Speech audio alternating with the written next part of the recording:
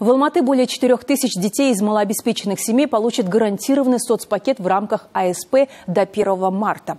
Предполагается, что мальчишек и девчонок дошкольного возраста обеспечат продуктами питания и товарами бытовой химии. Все это будут выдавать в торговых центрах мегаполиса. На сегодня заявление на выплату адресной социальной помощи подали около 20 тысяч человек. Из них соцпомощь получили 2,5 тысячи семей. Оставшимся госпособие выплатят до конца этого месяца.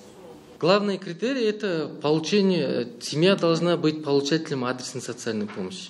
Им автоматически назначается а, питание, горячее питание в школах. Также э, с нового учебного года будут выдаваться э, школьные формы и канцелярские принадлежности. Надеемся уже до конца недели начать, э, то есть определить и начать раздачу всем получателям адресной социальной помощи.